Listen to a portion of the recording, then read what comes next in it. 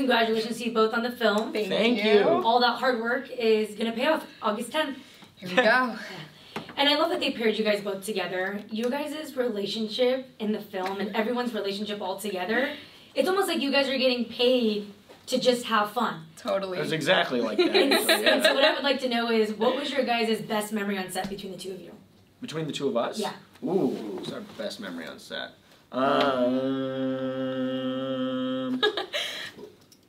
there's a we so we were in Canada, which was first of all a very very gorgeous place to shoot anything, Yeah, and uh, crazy I. I know you've already been saying this, but it's it's it's very true. Like I didn't realize how even when I read the script, I didn't understand how much of this movie was gonna be like in the outdoors, and like we were Oh we were God. in the the the wild. I was so underwhelmed for the amount of action required for this film.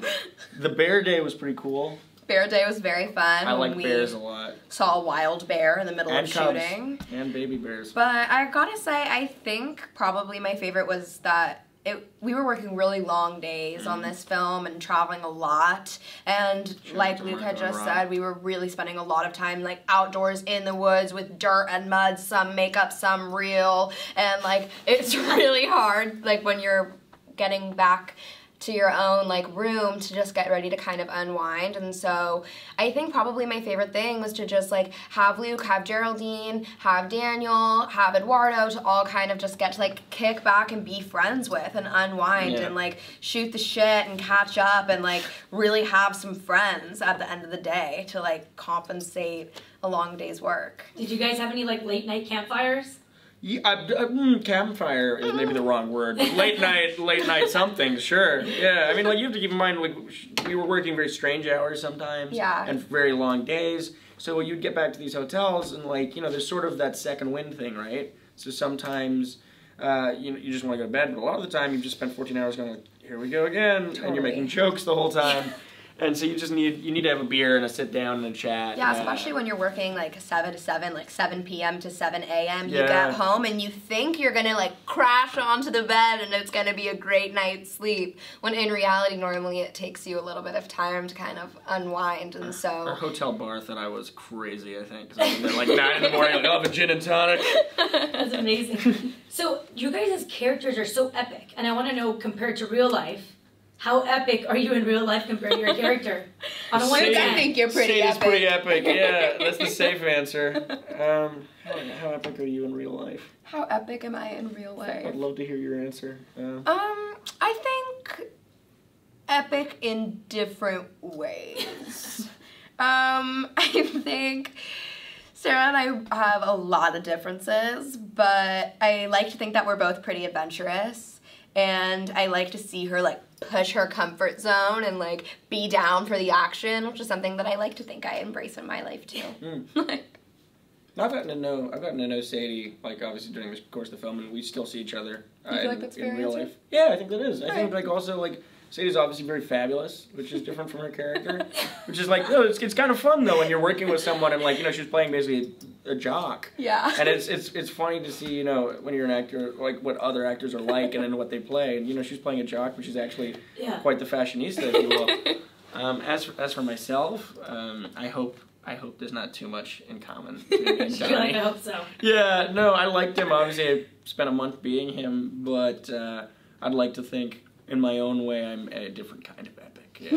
You know, you, it's so interesting. So you just said you spent a month being him, and I feel like anything you do habitually, you eventually become. So do you feel like you picked up certain characteristics? Like, do you feel like you're gonna go camping now?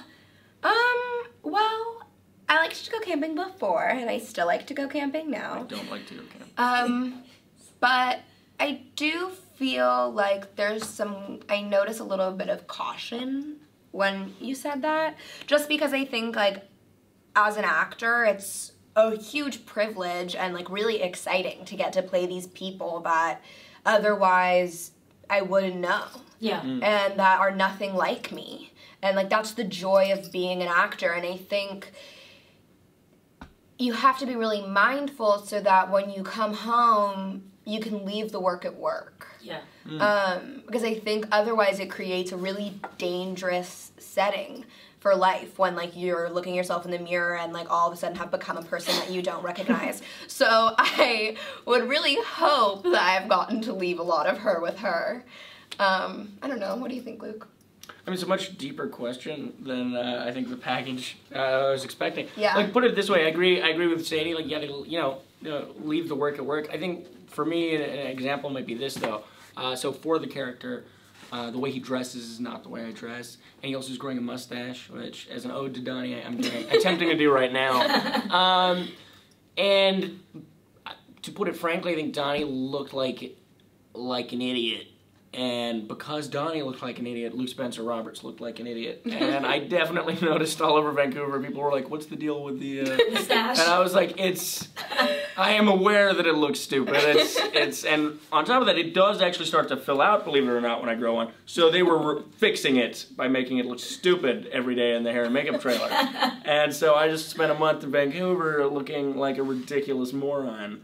Um, which I think helped separate me from Donnie because I started to quietly be like, Donnie looks stupid. You don't look stupid. You're like, am I Luke, Donnie? Luke looks great. Luke looks great. Donnie looks stupid. That's Yeah. so funny. And so, okay, so it's real life. It is spring break 2019. Okay. hmm You can take any five people. It cannot be any of your co-stars. It could be someone dead, alive, someone famous, not famous, Ooh. on the most epic spring break trip. The most epic. Who are you spring break. taking, and where are you going? I'm gonna need some real thought for this. Um, Um, five people. just have to throw some names out there. All right. Remember, your mom's watching. Yeah, my mom, uh, my grandma, my daughter. No, um. I Well, take? I've really been dying to go to Thailand, so I'm gonna pick that destination because it's next on Are my you picking list. destinations too? I Yeah. Where start? So I'm gonna go to Thailand, and who do I want to bring? Oprah, duh. Oh, yeah, that'd be amazing. Want to bring Oprah. Want to bring I'll take. Maya Angelou. Want to bring. I'm having like a luxe time. I'll take like. spring Yeah, I'll break take trip. Vonnegut, the writer. With like some self love, some like amazing powerhouse women. Like, It's the most inspirational trip she's ever been on. I'm It's taking a very different turn from the package. yeah. I'll take. Yeah, I'll take. Uh, Why would you take Kurt? Kurt Vonnegut's my favorite writer. So why would you take him? I feel like a good conversation. On the billionaire side, I'd take Elon Musk. So to match your Oh. Oprah, I'll take Musk. That's a good one. That's a good one. I'll Um, take Musk too. basically, you're teleporting your trip. Yeah. Yeah, exactly. Like like in this, like we get picked up by automated cars. I don't have to explain to my Uber driver I'm so drunk. Totally. Uh, What else is there? Uh, three more. That would probably just be my friends. I'm Sadie Calvano. Hi, my name is Luke Spencer Roberts. We're on the package, and it's coming to Netflix August 10th. Watch it. I just realized I was looking at the camera like a school shooter. I was just like, You're, all you're missing is the stash. doesn't matter. You're all gonna die. Cool.